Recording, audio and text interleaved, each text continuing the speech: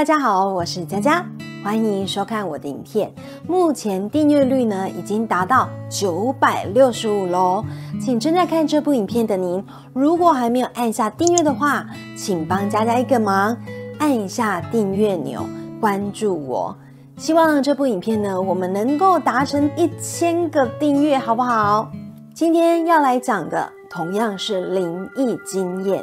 之前我分享我自己或者是朋友的亲身经历，真的没有像电影那么惊悚，从头到尾呢被鬼吓，或是结尾呢就是被鬼拉去另一个世界。那因为我们也是普通人啊，没有那么的虽小吼，天天都在见鬼的，难得遇到一次灵异经验就很不得了了，还天天被鬼追。所以如果您希望的是像电影那样，从头下到尾，灵异指数呢高达五颗星的话，这部影片哦可能只有一颗星或者是两颗星左右吧。因为呢，今天的影片里面还有介绍到一些美丽的景点。虽然如此啦，还是希望大家能看下去，因为说不定同样的灵异情况，您在旅游的时候也有可能会遇到哦。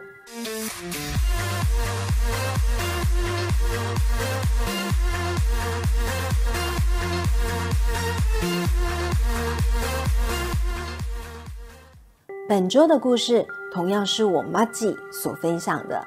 这次旅行的地点哦是在大陆。我妈吉这个时候呢已经是敏感体质了。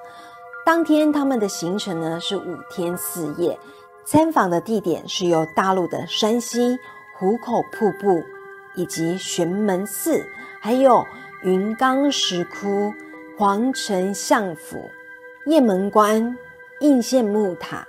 最后是平遥古城以及五台山。这次除了我妈吉全家人哦，同行的还有妈吉爸爸的两个朋友，他们是一对夫妻。这次呢，我妈吉学乖了，没有让 A 小姐一起去。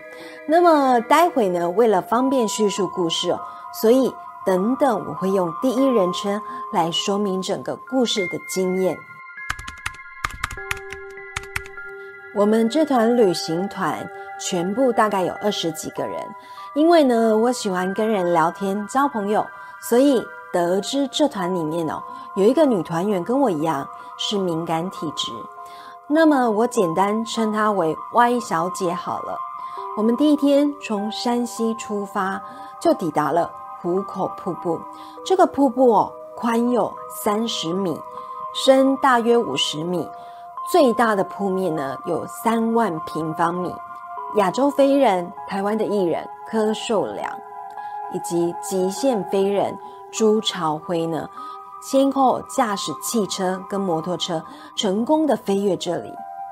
因为第一次看到那么壮观、那么宏伟的瀑布，每一个游客哦都离得非常的近，包括我自己也是。不过很奇怪的是哦。总感觉呢，有一股力量要把人拉下去，而且当时啊，我的脑海中一直出现一个声音，他说：“来吧，来吧，往这里跳下来吧。”我一直觉得好像是要被吸下去的感觉，而且心里一直出现这个声音哦，总觉得怪怪的，所以心里就想：靠，我还是离远一点好了。第二天，我们第一站呢，来到了悬空寺。它是一座儒释道三教合一的寺庙。这个寺庙呢，建于北魏年间哦，现在已经被中国列为全国重点文物保护单位。我到这里的时候呢，马上就有感应了，但是感应的程度呢，是身体还可以接受的范围，所以我有进去这里参观。因为如果是感应太强的地方，我就会避开那里。选择不进去，不然除了我的身体会有很强的反应之外，也会整个人哦，整个精神都觉得非常的不舒服。接下来的景点哦，我们就到了云冈石窟，在这里哦，能看到非常多巨大的石像。听说这里建于北魏文成帝的年代，大约是西元四百六十年左右，长达一公里，依山开凿。现在存有的石雕像大约还有五万一千座左右。最后一站呢，我们来到了皇城相府，又称武亭山村。它是清朝康熙年间哦，文渊阁大学士陈廷敬的府邸，现在则是中国国家 A A A A A 五 A 景点区。第三天，我们到达了平遥古城，它是清朝晚期哦中国的金融中心，并且是中国目前保存最完整的古代县城歌剧，更被称为是古代中国的华尔街。我们在这里住了一天，整个古城呢真的非常非常的大，来到这里哦，仿佛感觉像是时光倒流一样。古城内呢有非常多的景点，像是平遥文庙、平遥县署、平遥城墙、任生昌票号、中国镖局博物馆、平遥古民居博物馆。当时呢，我们一路走一路逛，接着导游就说呢要带我们去看一尊佛像，因此我们全体就跟着导游来到了一个类似中庭的地方。这个地方呢，外面有阳光，但是呢，当您走进室内之后，您则是会感觉超级无敌暗，因为没有日光哦，所以呢，只可以看得到几根蜡烛的光芒。当我进去那个黑暗的房子之后啊，我就感觉哦，这个空间里面好像呢，不是只有我们这些人存在。这个地方的出口呢，是在这个中庭的中间。这间大屋子内呢，有一尊佛像。而出口处就在佛像的两侧，虽然出口两侧的门哦都有一些阳光啊照进来，而且呢室内也有蜡烛的亮光，但是我非常的纳闷，为什么整个室内那么暗啊？一般有供奉佛像的地方哦，不是蛮明亮的吗？为什么这里是暗道呢？我看不到中间这尊佛像是什么。长什么样子？老实讲哦，整个感觉就是非常的诡异。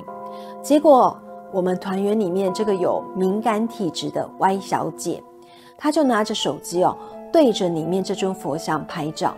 老实讲，拍出来呢，真的是一片黑啦。里面那尊佛像哦，也完全是黑的。结果当我们出来之后，仔细一看，竟然发现这张照片上那尊佛像的旁边哦。赫然出现了一张非常清楚、非常明显的透明老人脸。当时整个团的人都吓到了，一直七嘴八舌的说：“怎么会拍到那么诡异的照片啊？”由于真的是太可怕了，所以呢，当下 Y 小姐呢就把这张灵异照片给删除了。后来我们来到了一座古代监狱，这里已经整修过了，可是呢还看得到。当时清朝时代哦，所留下来的监狱跟刑具，当时是白天，而且是一群人在里面逛。可是呢，当我逛完之后，我的身体就有反应了，感觉像是有什么东西哦要靠近我的身体。当时看完的人，导游就会把我们集中在一棵树荫下，等待呢还没有逛完的人。那么我跟我弟弟还有导游。就率先呢到达这个集合点，并且站在那里呢等其他的人。那因为我一直觉得我身边的气场怪怪的，所以呢我就对着我弟弟说：“我们去晒太阳吧，这里呢有寒意，晒晒太阳，吸收一下阳气。”结果没有想到呢，导游过没多久也跟着过来晒太阳。我不知道他是不是也跟我一样，感觉有一股阴风跟着。第四天呢，我们到达了五台山，这里是中国四大佛教名山之首。五台山呢，其实并不是一座山，它是一系列的山峰群，在这里面呢，有非常多的寺庙。据传拥有的寺庙呢，有一百二十八座，现存的寺院共有四十七处，台内三十九处，台外有八处。一到达这里之后呢，我就感应到非常强的磁场，不夸张哦，在车子还没有到达停车场之前，还有一段距离哦，我就开始打嗝，而且呢是打嗝打到想吐的那种。如果不知道的人哦，应该会以为我孕吐吧，因为我家人哦知道我是敏感体质，所以我姐姐就问我说：“等等，你要进去吗？”我就说：“我不要进去了。”感应太强了，接着呢，我就跟 Y 小姐说：“你也不要进去好了，这边的磁场很强。”但是他说：“难得来了，当然要进去啊。”后来我就只能呢，在车上跟司机聊天，等着他们回来。当时我心里是想，有敏感体质真的很困扰耶，花大钱来这边参观却不能进去，因为真的很怕被什么上身哦，就麻烦了。假如发生这样的状况，应该也没有人哦能帮忙解除。等到他们出来的时候，Y 小姐就对我说：“还好你没有进去。”然后我就说：“发生什么事了吗？”Y 小姐就说：“她一进去的时候就开始头晕，当走到塔那边的时候，差一点就晕倒了，感觉哦有一个未知的灵要强行上她的身。”我回她说呢，我有提醒你不要进去喽，里面的磁场很强，因为我都打嗝打成这样子了。我在想，如果我去的话，一定会被神明抓鸡。晚上到了饭店哦，住的是哪一间饭店哦？我真的忘记名字了。后来我们各自回到房间，然后呢，我就跟我姐说，我去晃晃。在这边呢，要跟大家说明哦，我妈姐说的晃晃呢，就是。呼吸新鲜空气，抽烟。那个时候，我正跟我闺蜜哦在聊天。我这个闺蜜哦，她也是灵异体质，不过她不像我一样是打嗝，有的时候她是直接就可以看到异界的灵体。当时我正沿着走廊一直线的走，这条走廊上的灯呢是黄色的灯光。走到底之后，走廊的另一边呢有沙发跟桌子，于是我就过去沙发上坐着，然后呢跟我的闺蜜通话。我就说我现在呢走到一个有沙发的地方，然后这边的电灯哦是日光灯，旁边是一条长长白色灯光的走廊。乍看过去哦，老实讲，我觉得很恐怖耶，而且有一种越做越毛的 feel。感觉就是有一股无形的压迫感。说到这里之后，我知道这个空间有灵异朋友，他在哪里我并不知道，但是我觉得应该离我很远，因为我还感应不到，但是有感觉他越来越靠近我的样子。反正呢，就是全身开始发毛。这个时候，我电话中的闺蜜呢，马上对我说：“赶快离开那里。”不要一个人待在那边，快快跑！我一听到这个话，我二话不说，马上就离开，并且回到房间。隔天呢，有一个团员跟我们说呢，他昨晚遇到一件很毛的事。他说他也是沿着饭店的走廊走，结果呢，到了一处有沙发的地方坐下。当他呢抽完烟准备离开的时候，竟然怎么走？都像是在原地绕圈圈，走来走去呢，一直找不到他的房间哦。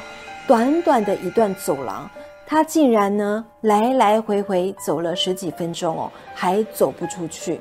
我就问他说：“后来你怎么回到房间的？”他说呢，结果是有同团的人出了房门之后呢，才拯救了他。我当时心里就想，如果没有遇到其他的团员。他不知道呢会被鬼遮眼多久，当下呢也很庆幸哦，我那个时候正跟我闺蜜在通话，是我闺蜜救了我，因为呢她的第六感很强，预感都很准。如果当时不是她叫我快跑，那我应该呢就像这个团员一样，被鬼遮眼，或者是鬼上身了。这一路玩下来哦，虽然遇到一些很怪异的事情，但是呢一路上都还算平安。而现在的我，因为感应也多了，所以呢，我都以平常心去对待。其实哦，听完我妈吉分享的故事之后，我自己啦是觉得世界各地哦都有灵异事件的存在。但是呢，我还是那些话啦，心存善念，心存敬畏，善良的人呢一定会有福报，而且冥冥之中神佛也会保佑你度过各种难关。今天的故事就说到这里喽。对了，因为我平常哦是位活动主持人。最近我们团队创立了赖官方账号，像是婚礼、尾牙、庆生、商演等等哦，反正和快乐的事有关的活动，不管是硬体设备或者是表演企划，我们都有服务哦。所以有相关需求的人，欢迎加入我们的赖官方账号，小老鼠八六九 i x x v k，记得英文部分要小写哦。如果想和我分享故事的朋友，可以写信到我的信箱 g n 一一一零零零 a 小老鼠 gmail 点 com。再次谢谢大家今天的收看，我们下周见喽，拜拜。